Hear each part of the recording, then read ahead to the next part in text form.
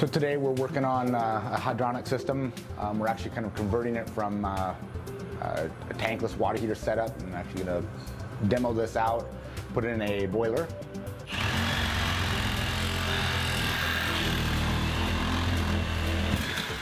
Uh, it's a Bosch Greenstar uh, 151.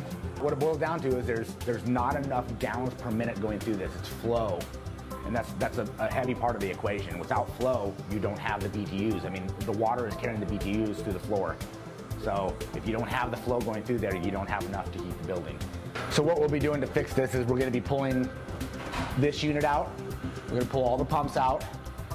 Uh, we're gonna take one of the Noritz units out and we're gonna replace that with a Bosch Greenstar, okay? That, that Bosch Greenstar is gonna be a dedicated boiler that is only gonna do the heating, no domestic water. We're gonna save the other three for domestic hot water making. Uh, in the heating box, there's gonna be two pumps. Uh, this one pump pulls water from these units over here and it runs through these heat exchangers, okay, which separate out the domestic water to the heating water, okay? Uh, so when this pump is running, this pump is also running, pulling from the other side of these heat exchangers, scrubbing off any BTUs that it pulls from this, putting it into the heating system here.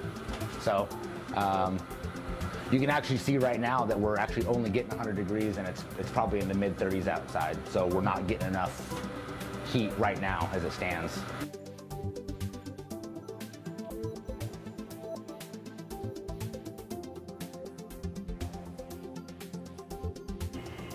So here's the finished product. This is uh, obviously after we demoed and we put everything back together. Um, we got our Magna 1 pump here, uh, set up as Delta P. We've got it on the middle pump curve.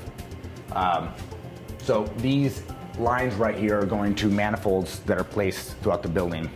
Okay, we did find that uh, one manifold in each building had no actuators on it, so we actually had to come up with a way to uh, control that zone. So we ended up putting a zone valve up here and then wiring it into the thermostat. And uh, that solved that, that issue, was able to control that manifold as a whole. All the other manifolds have thermal actuators, so they're zoned out, um, you know, for bedrooms, that kind of thing. People can have their individual temperatures. So this is the lines going out. This is primary, secondary piping. So you can see off the border, we've got our lines coming up. We have closely spaced tees right here.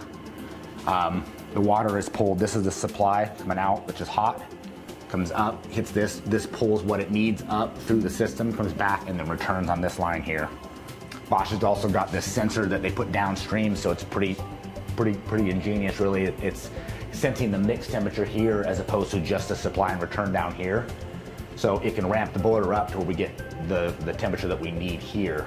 So, so one of the things I've noticed right away is on this one, uh, this is up and running right now and it's probably in the low to mid 30s outside. Um, our return temperatures at about, are about 100 degrees. And if you go to the unit that has not been done, the supply temperatures aren't even 100 degrees. So they're just, it's just not keeping up already. And it's only, you know, low 30s. When it gets down to the 20s, it's even worse. And they had some buildings that were dropping to, you know, 65 degrees, 50, 55. They were complaining and they, they called us out. So one other really neat thing about this Bosch is that the the venting on top, I can actually spin that and it was really a perfect fit for this application because you can you can obviously take the combustion air from one side to the other to accommodate this. So, um, you know, if it was rigid and we had no choice, it, it, would make it much more complicated to run the venting. In this case, it was considerably uh, easier. For more how-to videos and the latest innovations for your bath and kitchen, please subscribe to our YouTube channel.